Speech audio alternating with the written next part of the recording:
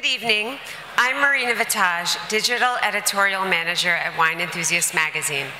Tonight, I'm delighted to introduce and celebrate a pioneer of the contemporary cocktail movement, mixologist extraordinaire Julie Reiner. She's the mastermind behind acclaimed cocktail bars like Flatiron Lounge and Clover Club.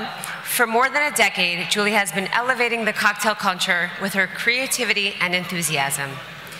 Today, she continues to build excellence in the cocktail world, and she mentors others to do the same. For me, it's interaction. You know, it's it's the it's the bartender to the customer trying to just make their day better. Julie's my best friend. She's just so full of life. She's probably one of the busiest people in the cocktail world, personally, professionally. Julie Reiner is one of the founders of the modern cocktail industry. She's also one of the smartest businesswomen in the industry. She's one of the women on the vanguard of the new cocktail movement. She's been a great mentor to me. She's the owner of Clover Club. Julie Reiner owns many places. Clover Club is my favorite of hers. You get that consistency that I can walk in any time and I know I will not be disappointed. I moved to San Francisco after college and was doing marketing. I was so bored sitting behind a desk. So I was like, I left that and I started bartending and cocktail waitressing again. I had been working in the bar business in San Francisco. I, I had an opportunity to come to New York and I was like, hey, why not? All I'm doing right now is bartending. you know, I can do that in New York. So I was working at C3 Lounge in the West Village, uh, which is connected to the Washington Square Hotel. I had a friend who was managing and I ended up getting hired as the bar manager there.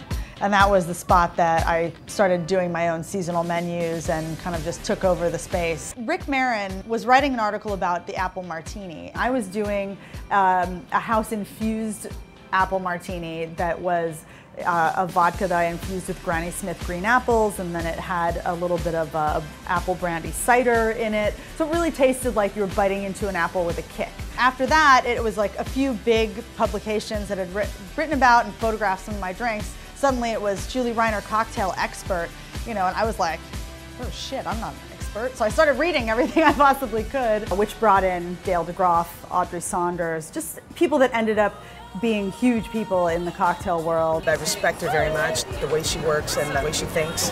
She's my girl. For me, it was about having somebody come into my bar and leave happier than they came. You know, come in, have a really great conversation, an amazing cocktail, and just leave feeling good. Um, and I, I just love that part of what we do. I am delighted. I am delighted to present the Wine Star Award for Mixologist of the Year to Julie Reiner.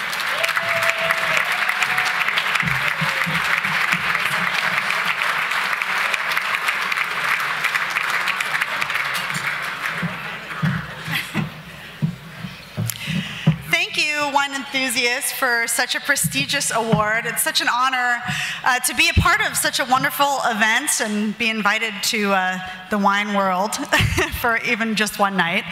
Um, thanks to Doug Tirola, who made this amazing video, made me look so great. um, he used a lot of footage from his documentary film, Hey Bartender, uh, that I was in. And uh, my mom, who I think is my biggest fan, cried for like an hour after seeing this video. So thanks, Doug. when I got the call from Adam the Strum and Kara Newman that I had been nominated, I was really thrilled to be in the company of some of the best bartenders and brand ambassadors in the world, and to follow in the footsteps of my dear friend Charlotte Voisey, Jacob Briars and Angus Winchester is just overwhelming. They are all such great talents, and I'm, I'm just humbled to be a part of their, their club. um, while my name is on this trophy, there are quite a few people who are responsible for me being here today. First, I want to thank my partner and wife, Susan Fedroff, who has opened Flatiron Lounge, Pegu Club, and Clover Club with me. Um, without her talents, none of these bars would exist. I get to do all this fun stuff and do the dog and pony show, but she does all the stuff that really makes, makes the places go. So thank you. Um, yes. I also want to thank uh, Christine Williams, our fearless partner and um, uh, general manager at Clover Club, who handles a lot of the not so pretty sides of the bar business, and a lot of it isn't so pretty.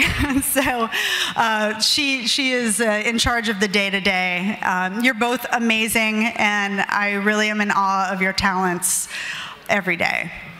Um, to my talented bar staff at, at all of the bars, uh, particularly Tom Macy and KJ Williams, who were here tonight serving you gin blossoms. I hope some of you had one. Um, thank you for upholding the level of quality that we strive for and for inspiring me to be better and to keep pushing the boundaries of what we can put into a glass. I'm so grateful to have had some of the most celebrated bartenders pass through our doors at Flatiron Lounge and Clover Club. And the craft has really grown tremendously over the past 15 years, and I feel so lucky to have had a front row seat in, in it all. And lastly, I want to thank my family of cocktail geeks who discovered me in that little bar in the West Village and showed me that there were other people out there who cared about cocktails and bartending. Dale DeGroff, Tony Abou-Ganim, David Wondrich, Audrey Saunders, you guys are amazing. Thank you so much. Such a pleasure to be here. Thank you to the Wine Enthusiast team. Cheers.